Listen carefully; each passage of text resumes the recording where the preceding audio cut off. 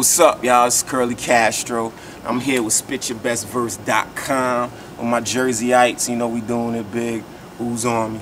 So here we go. I'm just gonna lay something. Let me know what y'all think.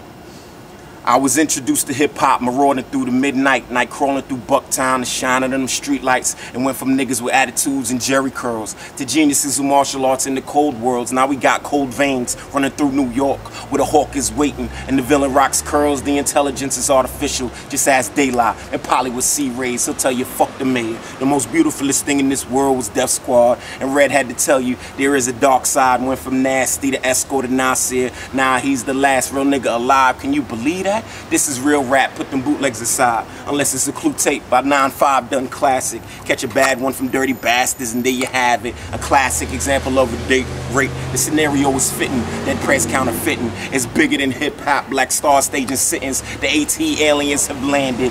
MCs attacking beats with that Madlib abandon. Look to your prophet, sunrise to the east. Whoop whoop went the police when they found Cochise. Gang Starr gave us the formula to get large. It's mainly the voice and Primo's dope beats. So no sleep till Brooklyn. The boys acting beastie. I'm a blunt getting smoke, but not if it's seedy. I rob a no limit nigga and give to the needy. And hold on to gold eras begun by BDP. One.